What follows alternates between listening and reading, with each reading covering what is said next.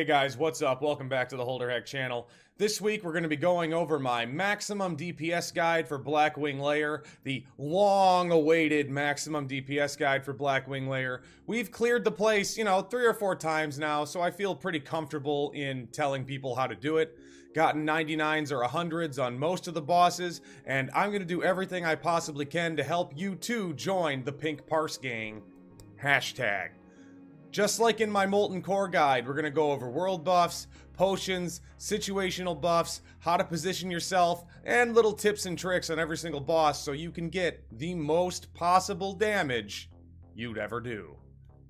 Let's do it. And I would just like to say, of course, this video benefits greatly from having already watched my single target DPS rotation video guide and my AoE target DPS rotation guide, both of which I'm going to be mentioning in the boss fights for what you should be doing as your rotation, so I'm not just constantly repeating the same thing over and over again. Check those out here somewhere.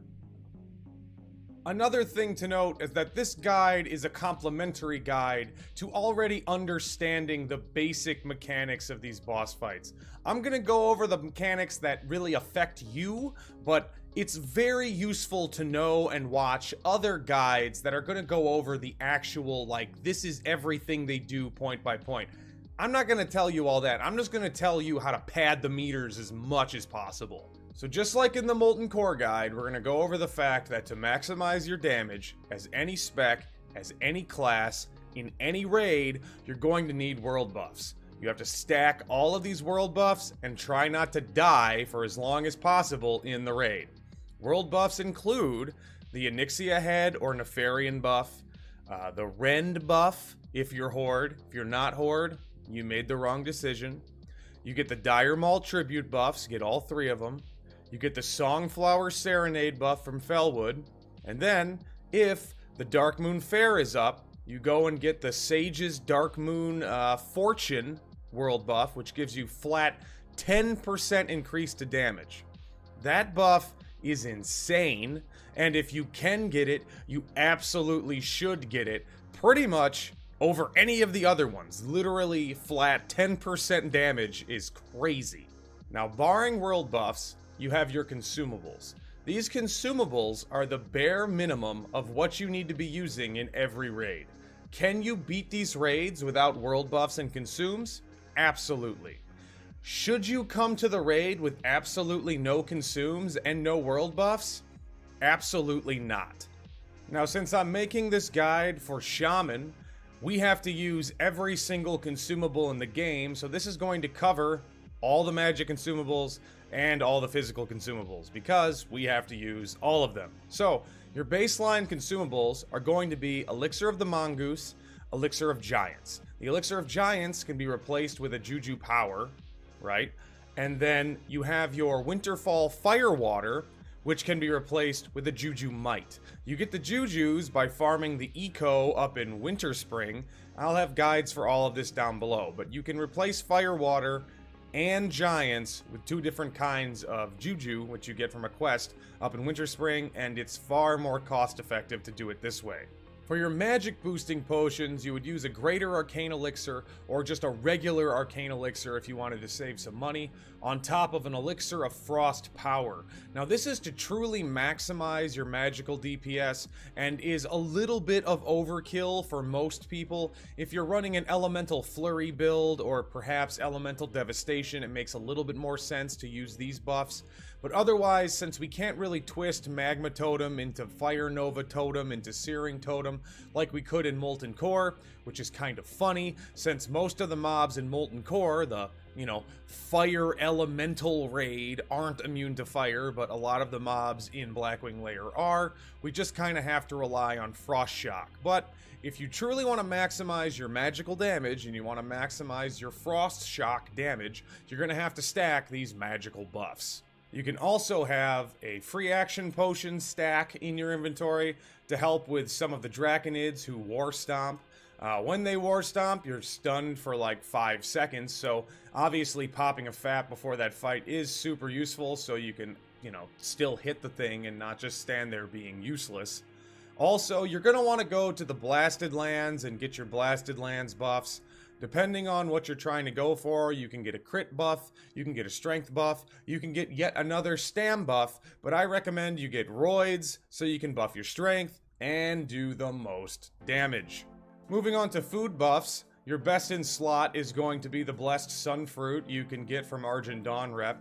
You can also use Grilled Squid for plus agility or various stam buffs. There's millions of different kinds of food that just gives you stamina, and not millions, but there's quite a few. So you could pick from any of those, but if you want to do the most damage, especially as a shaman, you're going to pick the strength. Final food buff that's nice to have, especially on some of the trash mobs in this instance, is Dragon's Breath Chili. Some of these mobs become vulnerable to fire, so you'll end up doing massive amounts of damage with this thing, as well as having it on like Chromaggus if he's vulnerable to fire it could proc and really, really up your damage on that boss. Is something that I don't personally do because it's like one of those like extra, extra, extra moves. But if you have a couple stacks of Dragon's Breath Chili in your bank and you want to bring one of them with the fight, it'll actually be a pretty good move and you should try to do that. One of the main potions you always have to have in your inventory, especially when you're trying to do melee DPS, is going to be the Limited Invulnerability Potion. The second you pull aggro on a lot of these mobs, you will instantly die. So you have to have that thing bound to a hotkey that you are ready to press at any moment. So, limited invulnerability potions are super important. Make sure you have at least 10 of them. Then your situational potions are going to be a greater fire protection potion, regular fire protection potions, and possibly shadow protection potions. The fire protection potions can help you in the suppression room. They can also help you on Broodlord. They can also help you on Fire Maw. So they're just generally useful for a good deal of Blackwing Lair. The Shadow Protection Potion is very good if you get targeted by Nefarian in the first phase of his fight. Otherwise, it's not really all that useful, but it's nice to have one or two in your inventory. Then finally, you're to have your longevity items like health potions, mana potions, demonic Endor dark runes, whipper root tubers, and or night dragon's breaths. I know for certain that the Night Dragon's Breaths share a cooldown with Demonic Runes, since they're both secondary items that restore mana, the Whipper Root tubers, however, do not share a cooldown with health potions, and I am pretty sure they also do not share a cooldown with demonic runes, but I haven't tested that as of yet, so feel free to try that out on your own. But you should definitely have Whipper Root tubers, health potions, mana potions, and dark or demonic runes to make sure you can stay in the fight for as long as possible. Okay, now that I have all the world buffs, potions, other buffs, situational use things covered, uh, we can actually get into the boss fights, which is the fun part. I'm sure I've had these things listed directly next to my head so you can read it in case I missed anything. I'm sure I'll be adding in something because when I initially record these videos, I usually go back and triple check myself. And so I will, of course, be adding every possible thing that exists for you to use right here. Now, that is done. Let's go into the boss fights, the actual fun part. The first fight we're going to talk about is the first fight that happens. Razorgore the Untamed is the first boss in Blackwing Lair. He's not hard as a boss. There's a little bit of an encounter before him, though, as I'm sure you know. Whether you're doing the four corner strategy or everyone's just clumped up in the middle, killing all the ads as they come out, I truly hope you're not having to kite anything because this isn't vanilla. Make sure you target the mages first, as you can kill them very quickly as melee. Otherwise, just focus on anything that comes out of your corner or comes near you, and try not to pull aggro, because these things can hit you very, very hard, and you will die if you are hit by things.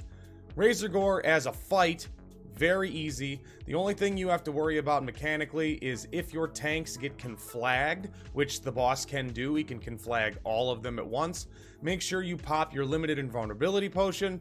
Otherwise, do your single target DPS rotation, maximize your uptime on your totems, and this thing's gonna die very fast, and you're gonna have a very good parse because there's no reason you shouldn't be fully buffed with world buffs at this point.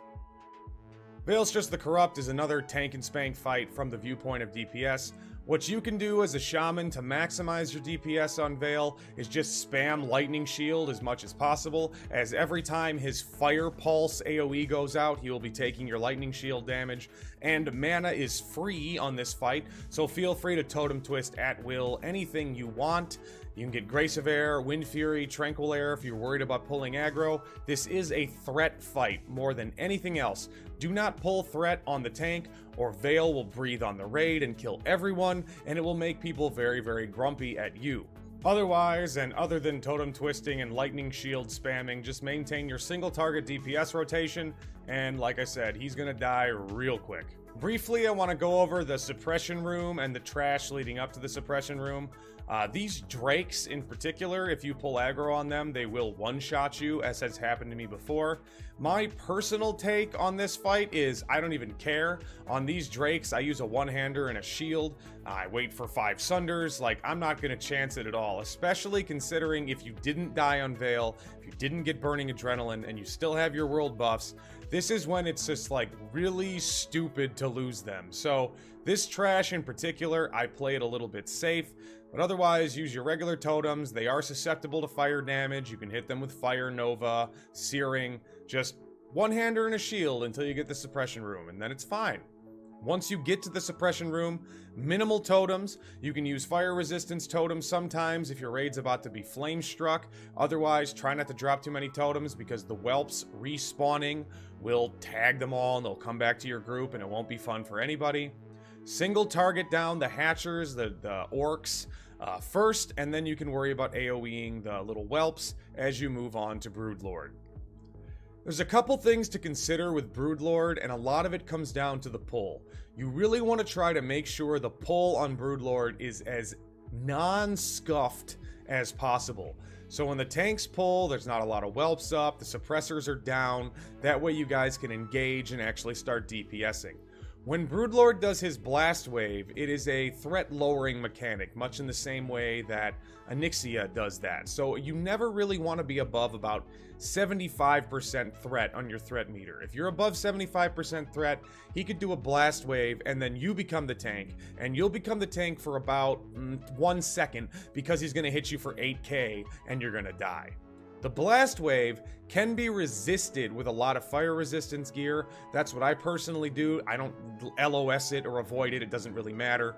Fire resistance totem, uh, full black dragon scale, a couple fire resistance pieces, and you're going to resist most of those blast waves. The tank might be able to wear a couple pieces of FR, but make sure that if you're resisting blast waves and the tank is not resisting blast waves, that you do not become the tank. Because, like I said, you will become the tank for one second and then you will die. And that is not the best way to do damage. Next little bit of trash talk coming up. We got the goblins in the next room. These goblins are pretty annoying and their bombs can kill you very quickly. So typically you're going to want to LOS them until they're in the room and bunched up. When they are in the room and bunched up, throw some grenades at them, use dense dynamite, you're going to get really big damage from that. Keep a fire nova over there, you'll get big damage from that. If they're still alive, try to get a magma in there. You can really farm these guys for a decent chunk of DPS. You just have to make sure your fire resistance totem is down, and if a couple of them are looking at you, it's not really the best time to run in because they're all going to throw bombs at you and you're going to die.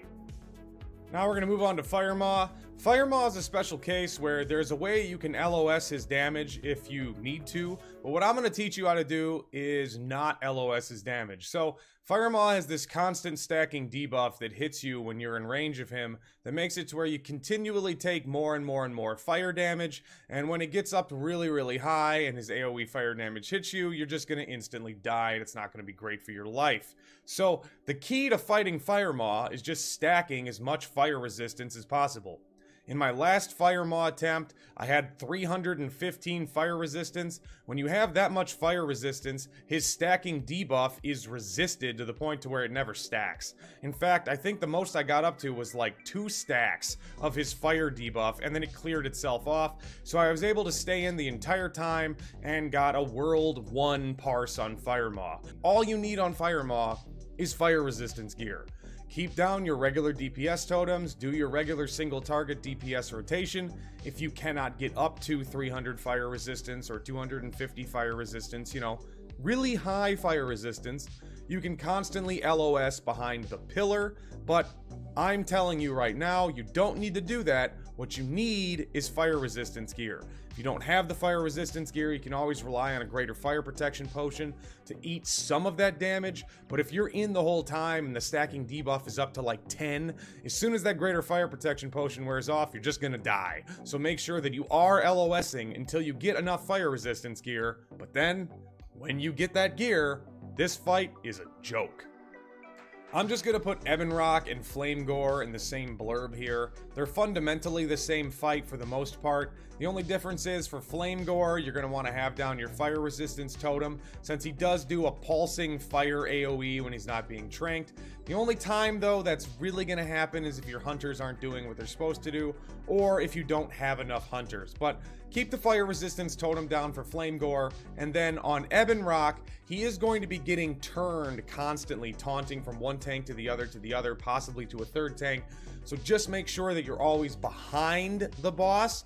Otherwise, you're going to get Shadow Flamed, which is really not great. Or even worse than Shadow Flamed, you're going to get parried, and we don't want that. That lowers our damage. Next, we come up to one of the most mechanic intensive heavy fights in all of Blackwing Lair, and that's of course Chromaggus. It's really only that way because the fight changes every week, but the only one you really, really have to worry about is time lapse. Otherwise, just make sure you don't get hit by his breaths. Some of them will kill you, some of them will make your DPS insignificant, but it all just comes down to running in and out of where you're supposed to be in the most efficient way possible right when he's about to do his breath, run out. Immediately after he casts his breath, run back in. Don't hang out in that alcove longer than you need to. Always keep your Searing Totem down that can fish for fire vulnerability. You have mods that will tell you what his vulnerability is, or you could just have the mages or warlocks or other people attacking the boss call out on Discord what the vulnerability is so you can pad with Frost Shock, Lightning Bolts, Flame Shock. I don't really recommend you do Earth Shock because probably pulling aggro on Chromaggus is a bad idea, but if you're significantly lower on the threat table, you might be able to get in an Earth Shock or two, but I wouldn't rely on it. Make sure that if you get time lapse, you run in with everybody else and everybody but the off tank gets stunned. Otherwise, Chromaggus is going to run around and kill everyone, and it's going to be a very bad time. Of course, we're on to the last boss fight in Blackwing Lair now, the last Loot Pinata Nefarian. I look back on how much my vanilla guild struggled on Nefarian, and I just, I weep. It's essentially the same fight as Onyxia, with like two or three extra steps, and it's really not that big of a deal. Um, you know, there's a couple of fights in this, this instance where you really wanted to have your Onyxia cloak equipped uh, if you got Shadow Flamed. Well, in Nefarian's fight, you're absolutely going to be Shadow Flamed, so make sure that you have your Onyxia cloak equipped. And this is the one fight where having that greater shadow protection potion is pretty useful, as in phase one, he randomly targets somebody and just decides that he's going to shadow bolt them to infinity. So if he targets you and you have that shadow protection potion, it's going to help and help your healers get enough time to, you know, target over to you and keep you alive. Kill the dragon in phase one, Move over to phase two after the Shadow Flame. This phase is essentially Onyxia. Uh, there's going to be some fears. There's going to be class calls. Now, with the Shaman class call, it's awful for our DPS. It makes you completely run out of mana, and you have to really focus on killing the totems that you're dropping. Also, make sure that you're not dropping these totems in large groups of people, so you may want to move away from Nefarian and kill them in a corner with a couple other people. Especially because the Fire Nova Totem going off in all of your healers is not going to be a great time for them. Barring the Shaman class call, the Warrior class call doesn't affect you, the Druid class call doesn't affect you, the Mage class call, you may end up sheeped, you will get dispelled, the Warlock class call, you're going to have like two Warlocks in your whole raid, so there's going to be like two Infernals. You can decide to kill those Infernals or just keep hitting Nefarian, really doesn't matter. And then the priest class call, well, hopefully the priests don't kill your main tank. That's really what you're going to hope for. And since we're not Alliance, we don't got to worry about the Paladin class call, which by all accounts is really annoying because he puts a bubble on Nefarian. Now, Other than your usual single target DPS rotation and the fact that Nefarian and Onyxia and all the Drakes, of course, are immune to fire, you are going to worry about the 20% switch where all the mobs you killed in Phase 1 run out in Phase 3 of Nefarian. Now, this is where a grand majority of your damage in this fight is going to come from. You're going to use Dynamite, or Sapper Charges, or Stratholme Holy Water, and your Fire Nova Totem to do as much damage as possible on as many of these undead Draconids as possible. When you hit them all with your Sapper and your Fire Nova, have a shield equipped because they will all target you and they will all kill you. When you look at your logs at the end of this fight, you will see, I mean, the last time I did it, it was like 30% of my damage was from just sappering the Draconids. I didn't even get to get a Fire Nova totem off because I'm not expecting to improve Fire Nova totem. But that's where the elemental devastation builds really come into their own in Blackwing Lair is, is really in that one part of that one fight. That quick cast Fire Nova totem is just amazing. So that's it for Nefarian. You can Tremor Totem his uh, fear, you can LOS his fear, and then he dies and you enjoy your loot. So that concludes our maximum DPS guide for Blackwing Lair. I truly hope that this can help more and more and more of my shamans join the Pink Parse gang at the 99th percentile. A lot of these fights in all of vanilla, it just really comes down to preparation and the fact that you've done it a couple of times. Once you get in the rhythm and you have your limited invulnerability potions, you have your FAPs, you have your fire protection potions, you have your fire resistance gear, you can cheese all of these fights, and it'll be just an amazing experience where loot rains from the heavens, and you continually get more and more and more powerful and prove all the haters wrong.